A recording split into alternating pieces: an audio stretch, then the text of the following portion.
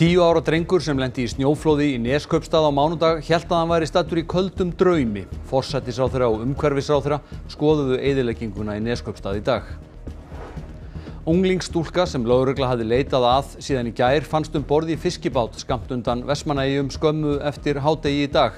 Skipstjóri bátsins er margdæmdur ofbeldismadur. Afar mjótt er á munum í kosningunum í Finnlandi þegar 40% atkvæða hafi verið talin. Aðeins munar 0,1% á íhalds- og jafnaðarmannaflokki. Leðtóafundur Evrópuráðsins hér á landi í mæ er langstærsti viðburður sem hér hefur verið haldinn. Allt tiltækt lið lauruglu af landinu öllu tekur þátt og fær aðstóð víða að. Ríkislauruglustjóri líkir fundinum við risastóra almannavarnaæfingu á landsvísu. Yfir framleiðandi þáttana True Detective Night Country sem teknir voru upp hér á landi segir miklu skipta að geta tekið upp á einum stað. Aðaleikonan Jodie Foster er ánægð með Íslandsdvölina.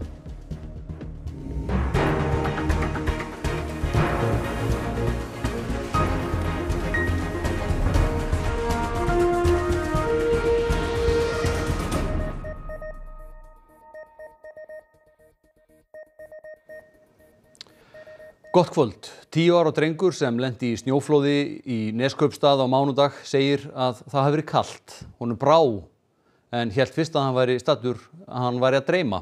Bjarga þurfti fjölskyldunni út um glugga á annari hæð. Húsið að starmýri 17-19 fór einna verst út í snjóflóðunni í Neskaupstað. Húsið og íbúðurnar fjórar í því fylltust næstum á snjó. Búið er að móka snjónum út úr húsinu og eðileggingin er mikil. Guðjón er á 11. ári og býr á samt fóröldun sínum og tveimur sískinum í íbúð á annari hæð. Hann var inn í herbergi þegar flóðið skall á húsinu snemma á mánudags morgun. Benedikt Sigursson fréttamar hitti Guðjón og heimilans í dag. En hvar varst þú? Þetta er bara sofandi hér þegar hlóðið kom? Já, ég vaknaði við áflóðið. Þetta ekki, það er þá komið um hennaglöka sem er brotið. Já. Og, og það skauðst hjá, það sem hjá mömmu, þá skauðst það um hurðina okkar. Svona hurðina sem við, þegar við opnum þá komum inn að bang. Þar kom snjóflóðið mest. Anna, móðir Guðjóns, var frammi í stofu með yngsta barni þegar flóðið var. En sýstir Guðjóns og fadir voru inn í herbyrgi. Pappin þurfti að grafa telpuna upp úr flóðinu. Ég var, það voru mjög kallt hérna. Vissur þú, ég var ekki svona í fötum þegar þetta gerist. Varstu hrættur? Já, ég var að brá. Já, hérstu að þakki hefði brotnið? Já, það líktist um svo. En hvað var það fyrsta sem hún hugsaði? Þú vaknaði? Ég hugsaði ekki neitt. Ég var bara eitthvað, hvað er í gangi? Og hvað hérst það væri í gangi? Ég vissi alveg þetta var snjóflóð. Fyrst held ég ekki, fyrst held þetta draumur. Svolítið kaldur drömmur. Já. Rúður brotnuðu og Guðjón og Anna, mamma hans, skárust. Ég fekk lítið sár á fótinn. Það var einu sár sem ég fekk. Ég var mjög glerflót hérna en ég fekk einn sár. Því það skarst ekki. Bæði pappi hans og eldri sýstir skárust á glerbrotunum. Fjölskyldan komst ekki út um útidyrnar, heldur þurfti aðstof Björgunarsveita til að komast út um glugga á annari hæð. Og í dag þurfti Guðjón ekki að taka til í herbyrginu sínu, þótt að ráða með þjóðarinnar væru þar í heimsókn. Forsættisáþurra og umhverfisáþurra ætla að skoða hvort hægt sé að flýta framkvæmdum við snjóflóðavarnir í Neskjöpstað. Það verður sveitafélagi stutt til að veita íbúum sálrænan stuðning. Ráþurarnir fóru með flugi til Egilstað og svo óg Víðir Einarsson yfirlaurglu þjóttjá og ríkislauruglustjóra þeim til Neskupstaðar. Þar tóku norrfyrringar og bæjarstjóri fjárðarbyggðar á mótiðum. Svo var bóð upp á síkildan hátegisverð. Er það þið sem er byrjað ábyrða því að það séu kótivettur? Já. Ég vil lýsa við sérstaklega þetta. Það er eina mynd af ykkur hérna saman, þau erum búin að leggja ykkur á mörgum. Já, heldur betur. Að það er mikil mildi að ekki voru verð og enginn hreinlega let lífið í þessum flóðum. Uh, auðvitað er það það mikilvægasta og dýrmætasta en um leið er tjónið mikið og ótrúlegt að sjá ummerkin eftir þetta flóð. Það er auðvitað ótrúlegt að koma hér og, og hitta þetta öfluga fólk. 300 manns komi víða að til að hjálpa. Að það er alveg ótrúlegur fjöldi fólk sem hefur komið að en líka vil ég segja það að það er alveg aðdánavert hvernig til hefur tekist með viðbröð. Þau sem urðu fyrir tjón og íbúðum og innbúið þurfa að greiða hluta tjónsins eða 600.000 krónur. Er eh, einhver vondi þess að sé hægt að koma til móts við það fólk með einhverjum hætti? Já, við erum auðvitað með ákveði regluverk í kringu náttúruanfæra tryggingu en hins vegar er það alveg ljóst að við munum uh, að sjálfsögðu í fyrsta lagi stiðja við sveitafélagi til að veita sálfélagslega stunning og eins uh, að ráðast í það að reyna að skýra þessi gráu svæði sem getur auðvitað allmörg þegar um svona tjón er að ræða því sumt heyrir undir náttúruanfæra tryggingu og annað ekki. Norrferingar leggja mikla áherslu á sem fyrst verða fyrirhugum framkvæmdu við fjórða varnargarðin og hvort það verður hægt að flýta því eitthvað er eitthvað sem að, uh, við þurfum auðvitað bara að skoða á samt ímsu öðru það. Við munum að sjálfsögðu fara yfir þessar upplýsingar hér og, og fara yfir þessar áallanir hvort eitthvað er unnt að gera til þess að flýta þessum framkvæmdum. En það hefur verið í forgangi hjá okkur ekki bara ofanflóða varnar sem að sönnu gildi sér hér heldur líka hefur verið að, að skoða náttúru á almennt, skoða það hvar við getum vakta betur. Lörglann á Suðurnesjum sneri í dag við fiskibát sem Ívar unglingstúlka sem leitað hafði verið að síðan í gær. Um borð var 24 ára karlmaður sem er skipveri á bátnum en ekki skipstjóri eins og framkom fyrir þessum fréttatíma. Báturinn var á veiðum á faksaflóamiðum þegar beðinni barst frá lauruglu um að honum erði snúið við eftir ábendingar um að stúlkuna væri þar að finna. Orðið var við þeirri beðinni og var einn skipveri að kallaður til yfirheyslu þegar í land var komið. Hann var síðan látin laus. Samkvæmt heimildum fréttastofu hefur hann verið dæmdur fyrir ofbeldi gegn tveimur konum sem báðar voru sambíliskonur hans og ofbeldisverk hans hafa ítrekað ratað í fjölmiðla. Íhaldsflokkurinn í Finnlandi er með flest atkvæði í þingkostningunum sem haldnar voru í dag nú þegar utan kjörfundar atkvæði hafi verið talinn. Flokkurinn er með 20,8% atkvæða, jafnaðamanna flokkurinn flokkur Sönnu Marín Forsættisáþurra kemur fast á hæla hans með 20,7%. Sannir finnar fengu 18,6% atkvæða samkvæmt þessari talningu. Metfjöldi eða 40% kaus utan kjörfundar. Usually the, the, the, the party which has been in charge and which has the prime minister has been part of the party usually loses in the election. Yeah, they can continue but maybe with some other parties. Danni Huldar, hvað gæti þetta þýtt varandi ríkistjórn? Það er erfitt að segja, þetta er auðvitað bara fyrstu tölur og þetta er afar mjótt, það munar afar litlu en íhaldsflokkurinn sem leiðir núna með svona litlu mun, hann hefur ekki útlöka samstarfi neitt, þannig að gæti snúið sér til Sannra Finna og annar á hægri mængnum og mynda hægri stjórn, eins gæti hann líka snúið sér til Sönnu Marín og félagi jafnaðamannaflokknum og annar á vinstri mængnum og það þykir svona ákveðin samhljómur hjá þeim í ýmsum málum, þannig að það er ekki útlökað, en loka tölur ætti að líka fyrir klukka nýju að íslensku tíma. Og það, það gæti verið að þetta marki endalók valdatíma Sönnu Marín. Þetta hefur verið sögulegur og, og, og tíðindaríkur tími. Já, það er rétt. Hún tók við, þá var hún 34 ára, var á þeim tíma yngsti fórsættisrað þeirra í heiminum. Stuttu síðar, þá kom COVID-faraldurinn, svo byrt, voru byrtar myndir af henni á djamminu sem öllu, öllu svollu fjara fókja, það voru ofinbæð rannsókn á því. En hún var hreins af öllum ásökunum þar, hún framdengi lögbrót þar og svo sóttu finnar um aðild að NATO þegar rússar riðust inn í Úgrænu og verða fullgilt aðildaríki líklega í þessari viku. Og varnamálar á þeirra sem reyndar til hér í miðfloknum, hann er búin að fá sér NATO-bolla og skálaði honum í vikunni og það kemur í ljósi kvöld hvort að flokkurinn geti skálað fyrir kostningunum líka. Klukkan nýju í kvöld. Já. Takk fyrir þetta, Sæni Hulda.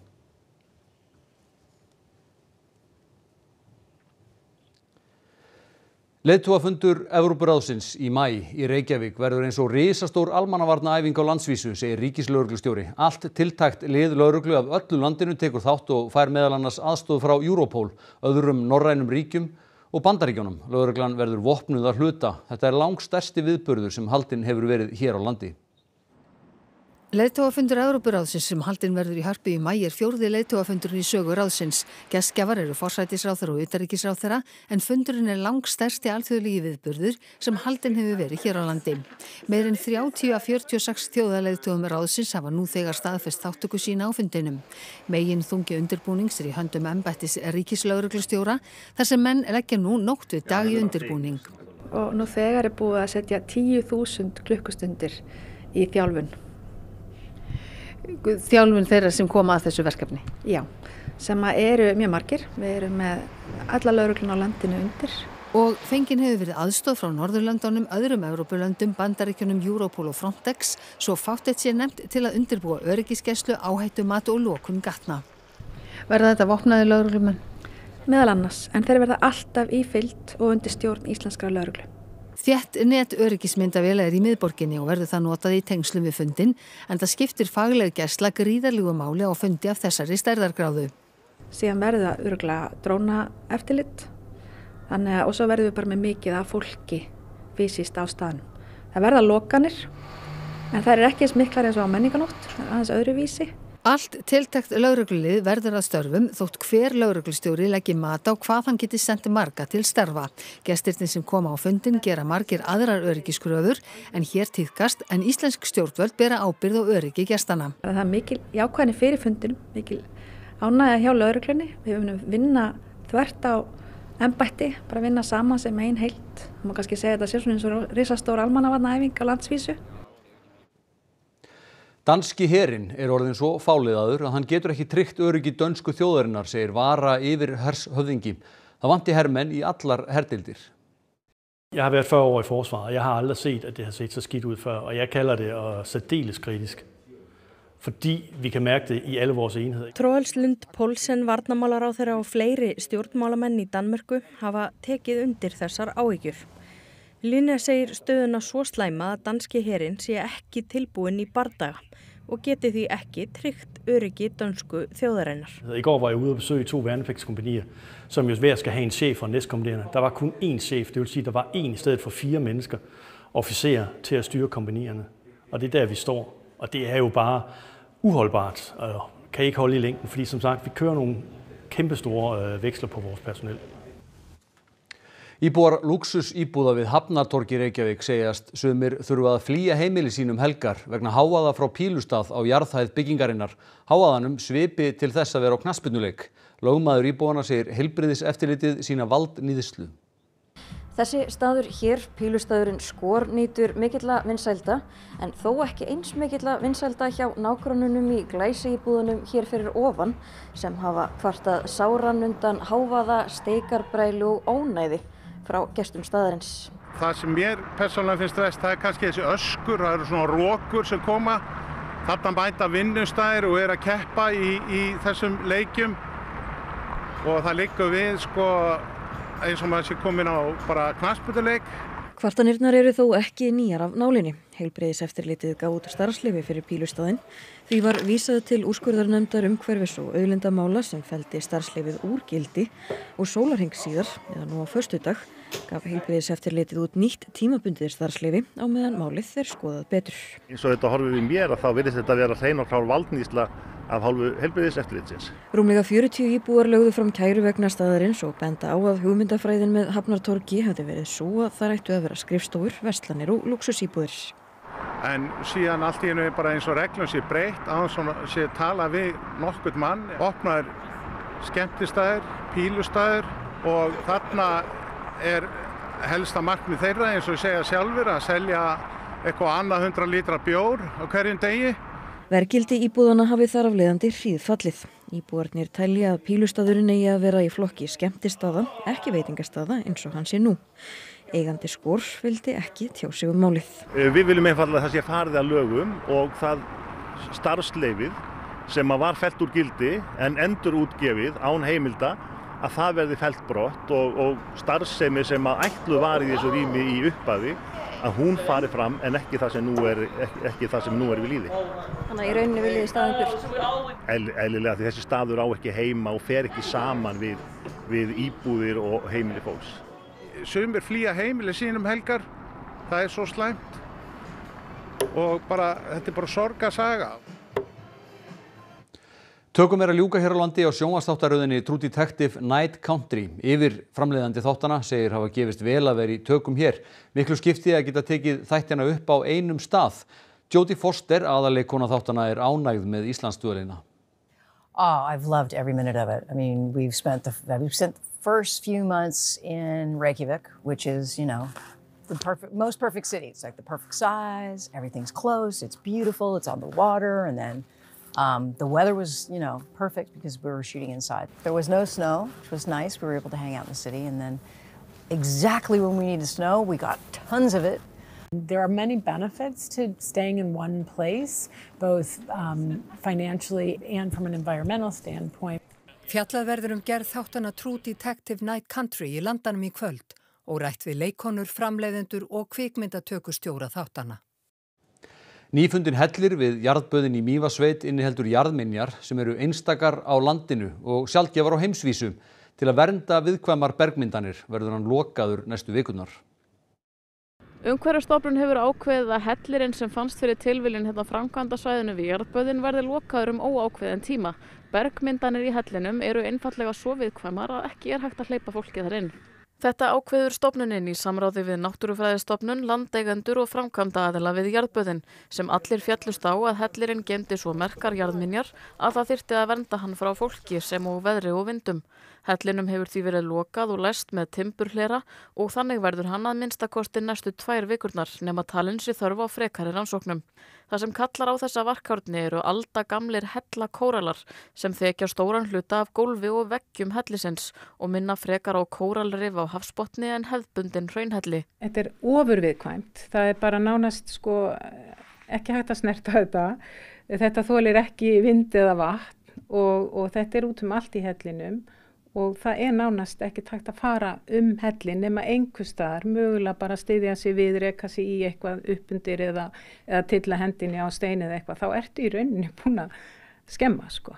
Hellakóralarnir eru jarðmyndanir úr kalki sem eru ekki sjaldgæfir sem slíkir en að hellirinn hafi verið lokaður undir hrauninu í árþúsundir á jarðheitasvæði skapaði einstakar aðstæður. Þetta hefur líka fengið algjöran frið vegna þess að þetta var alveg lokað, þarna var bara hiti, gufa, ekki alveg vita hversu mikill hiti og það er kannski það sem á eftir að, að kanna vegna þess að þegar hellirinn er opnaður að þá kólnar hann. Ekki er útilokað að einhver tíman verði hægt að berja hellin augum en eins og stendur verður almenningur að láta sér myndir næja af náttúruundrinu sem lendist undir jarðböðunum. Á þeim fimm árum sem liðin eru frá því að Safa Jemai flutti til Íslands frá Túnis er hún orðin reybreinandi í íslensku og hefur lokið háskólanámi í hugbúnaðaverkfræði og stopnað þrjú fyrirtæki sem ganga vel. Til að fá að starfa hér þurfti hún að sækja um vinnu hjá sjálfrið sér. Árið 2017 var Safa Jemai að læra tölvunafræði heima hjá sér í Túnis þegar hún sá auglýsingu um starfi í gróðurhúsi á Náttúrulækningafélagi Íslands í hveragerði. Hanna langaði að gera eitthvað nýtt og sló til. Eftir þryggja mánuða dvöl fór hún heim á ný en fann að hanna langaði aftur til Íslands. Hún kom til landsins 2018 til að hefja námi hugbúnaða verkfræði í Háskólu Íslands en til þess að það væri hægt var hún fyrst að læra íslensku. Hún fór í ársnámi í íslensku við HÍ sem hún segir að hafi vissulega verið krefjandi. Hún var neittnig sem aðstóður konar stúlku með föllun og segir Safa að þær hafa átt mikil og góð samtöl og hún þjálfast í málinu. Með þá íslensku kunnáttu lærði hún hugbúnaða verkfræði og laug námi. Það var útrúlega krefjandi bæði að, veist, að, að ná að læra og ná prófum og ná að eignast vini og, og ná að fá vinni. Þetta var bara allt, já, mjög krefjandi en veist, þetta tókst mjög vel með að leggja vinnu og eins og ég sagði vera óhrætt og bara halda áfram. Til viðbóta við námið hefur Safa stopnað þrjú fyrirtæki. Eitt þeirra er Víkonekt. Víkonekt er hérna, nýsköpunar hugbúnar fyrirtæki sem var stopnað 2021 og er að vinna með sprota fyrirtækjum til að hjálpa þeim að þróa hugbúnar lausnir eða finna forritara. 13 mann starfa hjá fyrirtækinu í dag, bæði hér og í Túnis og hefur þau unni með meira en tug fyrirtækja. Annað fyrirtæki er Trítabli sem Safa og þrjár aðrar konur stopnuðu 2020. Við erum að þróa Mobile Health app, smáforrit, fyrir fólk með skjaldgjör til sjúkdóm til að hjálpa þeim að sapna gögnunum sínum á sama stað og uh, fá alls konar gröf og gagnagreiningu til að hjálpa þeim daglega. Vinna er hafinn við að tengja Trítabli við heilsuveru í samstarfi við embætti landlæknis. Fyrirtækið hefur fengið styrk frá Rannís og er áallega að forritið verið komið í App Store fyrir árslokk. Hugmyndin er síðan að þróa forritið fyrir fleiri sjúkdóma. Loks er það þriðja fyrirtækið Mabrúka sem selur kryddblöndur frá Túnis sem Safa og móðir hennar hafa þróa sérstaklega fyrir íslenska mat. Fyrirtækið heitir einmitt í höfuð móður söfu. Kryddjurtirnar eru handtíndar og allt handunnið og sólþurkað. Kryddið er nú bæði notað á veitingahúsum hér og selt í verslunum. Það sem Safa er frá ríki utan EES-svæðisins gilda reglur um dvöl hennar hér en verið er að ringa þær reglur.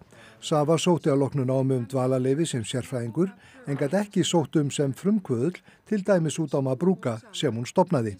Þannig að ég þurfti að um, sækja um vinnu í fyrirtækinu mínu, vikonlegt og, og skrifa undir samning og svo hérna sína uh, útlendingarstofnun pappir að ég er með reynslu í hugbúnar þróun til að fá leifi. Þannig að þú til að fá að vera hér þá þurftur að sækja minnu hjá sjálfriðir. Akkurat, já, og svo hérna til að fá dvalarleifi sem sérfræðinga. Þannig það er ekki hægt fyrir fólk utan ES að sækja sem frumkvöld eða sem uh, fyrirtækjastofnandi. Og þá þeirri, vaksandi austan og söðaustan átt, hvassviðri og rigning við söður ströndina í fyrramálið, við að rigninga morgun, engum sunnan til og talsverð á söðausturlandi, hitti á bylinu 4 til 11 stík. Sigur Jónsson, viðurfræðingur, fer nánar yfir horfurnar á loknum íþróttum. Tvö Íslandsmeti sundi fjallu í dag, annað í Danmörku en hitt á Íslandsmótinu Lögardalslaug. Skíðamóti Íslandslaug í Böggustæðafjalli á Dalvik í dag. Tveir efstumenn Reykjavíkur skákmótsins áttust við í hörpu. Svo fylgjum við eftir knapa í Suðurlandsdeildin í hestaíþróttum ásamt því að fjalla um fleira í íþróttum hér eftir fréttir. Þá ætlum við að rifja upp helstu atriði frétta. Tíu ára drengur sem lendi í snjóflóði í Neskjöpstað á mánudag held að hann væri stattur í köldum draumi. Forsettisáþurra og umhverfisráþurra skoðuðu eðilegginguna í Neskjöpstað í dag. Unglingstúlka sem laurugla hafði leitað að síðan í gær fannst um borði í fiskibát skömmu eftir hádegi í dag. Einn skipverja er margdæmdur ofbeldismadur. Afar mjóttir á munum í kostningunum í Finnlandi þegar 40% atkvæða hafi verið talin, aðeins munar 0,1% á íhalds- og jafnaðarmannaflokki. Leðtúafundur Evrópuráðsins hér á landi í mæ er langstæsti viðburður sem hér hefur verið haldinn hér. Allt tiltækt lið laurugla af öllu landinu tekur þátt og fær aðstóð víða að. Ríkislauruglustjóri líkir fundinum við risastóra almannavarnaæfingu. Yfir framleiðandi þáttana True Detective Night Country sem teknir voru upp hér á landi segir miklu skipta að geta tekið upp á einum stað. Aðaleikonan Jodie Foster er ánægð með Íslandsvölina. Næstu fréttir verða sagðir í útarpinu kl. 10 kvöld og vefurinn rúf.is er uppfærður allan sólarhingin. Þessum fréttatíma er lokið. Verið sæl.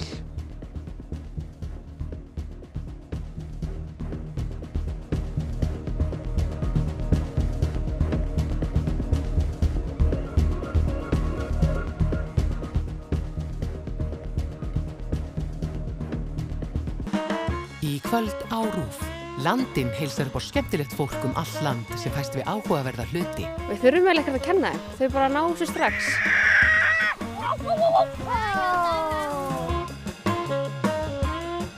It's all fake. Skeggi er heimildamind í tveimur hlutum um mál Skeggja Ásbjarnasonar kennara í lög